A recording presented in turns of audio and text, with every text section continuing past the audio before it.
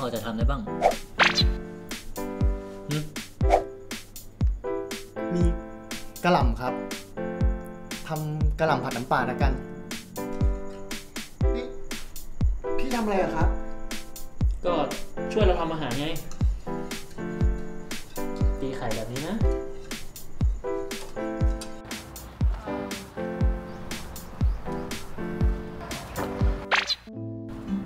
เขามีนัดกับผมแล้ว ยังไงทำไรเนี่ย ตามผมมา เออ ไม่มีอะไรครับ พี่แค่จะบอกว่า กับข้าวที่พี่ซื้อมากินวันเนี้ย กินไม่อร่อยเลยครับ มันไม่อร่อยเท่าฝีมือกวีทำไงครับ